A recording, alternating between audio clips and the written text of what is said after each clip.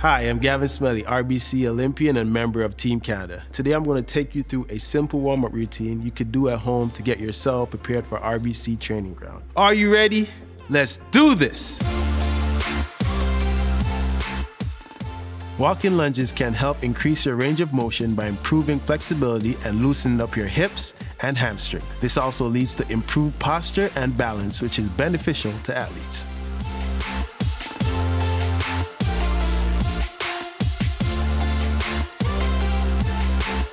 Carioca drill is a cross-stepping movement that propels the body laterally and will improve your side-to-side movement, agility, and footwork.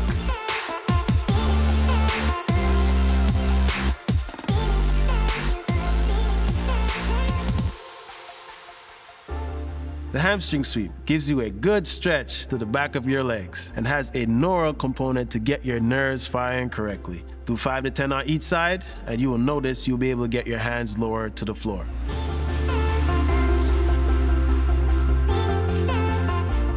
Bear crawl is a great workout for the whole body. While most warm-up exercises focus on a particular group of muscles, the bear crawl is one of those great movements that uses almost all muscle groups.